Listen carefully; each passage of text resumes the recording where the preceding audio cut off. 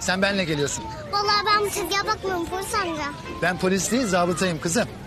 Zabıtaysa hiç gelemem seninle.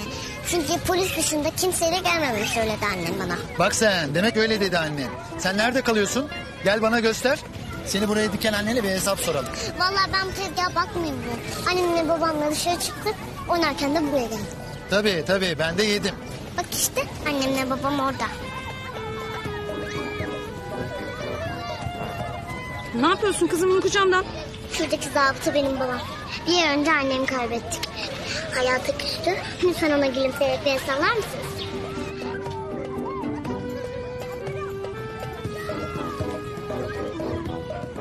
Kaçma dur gel buraya. Midecilerden çıkarıyor üzüntüsünü. Allah cezanı vermesin. Hayırımız akşam oldu. neyse neyse ben gidip şimdi midecinin yolunu keseyim bir. Key.